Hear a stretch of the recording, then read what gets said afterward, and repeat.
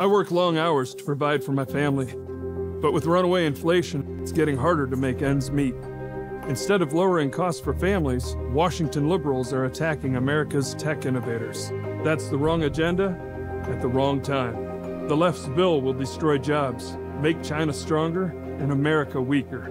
Working people like me will pay the price. No Republican senator should support this liberal agenda. Tell Senator Thom Tillis to reject the left's bill.